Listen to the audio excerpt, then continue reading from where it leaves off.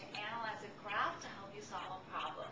It says a 2 kilogram ball moving in the positive direction at 3 meters per second is acted on by the impulse shown in the graph below. What is the ball's speed at 4 seconds? So first let's look at the graph and see what it's telling us before we try and solve the problem.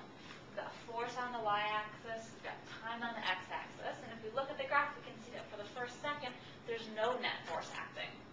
And between t equals 1 second and t equals 2 seconds, in other words for the second second, the force increases from 0 to 10 newtons. And then in the third second, the force decreases back down to 0, and in that last second there's no force acting whatsoever. And this is what time we're worrying about. Um, we want to find the speed at that time. So let's see. Um, we're looking for the final speed. That's one thing we're given, or that's what we're looking for.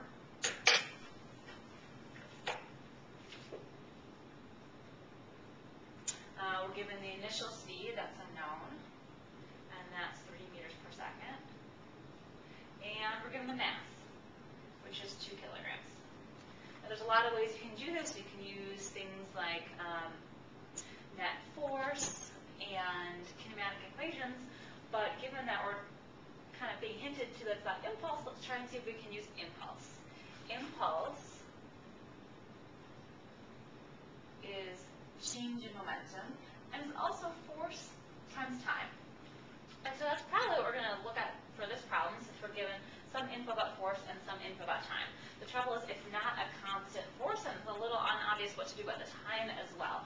That force increases and then it decreases. So one thing you could do is you could chunk the problem into pieces. Oh, no force there. Not much to worry about. A force that changes here, you could maybe look at the average force. That force goes from 0 to 10, so the during that second is 5 newtons of force. During this second, it goes from 10 back to 0, so the average is 5 newtons of force, and during this second, there's no force. That's one option. But the other option is to look at it and go, wait a minute, I'm looking for the product of something on my y-axis times something that's plotted on my x-axis. And anytime you're looking for the product of a y-axis and x-axis, you're really looking for the area underneath that shape. So in this case, this area right here, that area is the area underneath a force times time graph. And so that actually is the force times time, or the impulse. And in this case, it's a triangle shape, so we can solve for the impulse just using the triangle equation. Area is a half times base times height. The base really only goes for from t equals 1 to t equals 3, so 2 seconds. The height from 0 to 10 is 10. So we've got the area which stands for the impulse as 10.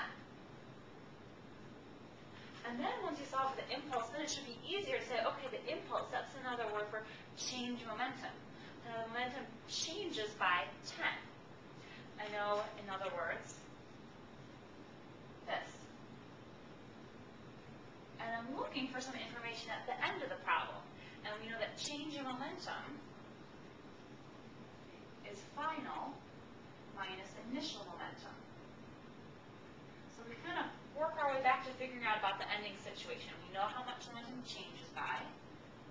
We don't know what the momentum at the end. We can really figure out the momentum at the beginning because it's just momentum is mass times velocity. And if I use the beginning velocity, I'll figure out the beginning momentum. So the beginning momentum is 2 times 3 is positive 6. So we have momentum of 6. In other words, we have a, something that starts momentum of 6 and changes by 10.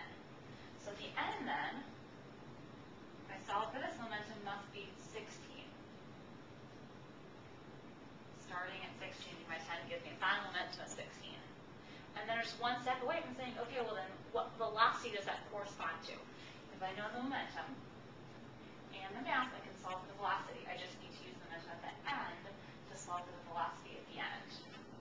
In other words, I can say I know the momentum at the end, I know the mass, and so I can find the final velocity, and the final velocity in this particular case is positive 8 meters per second. It's changed its velocity by 5 as a result of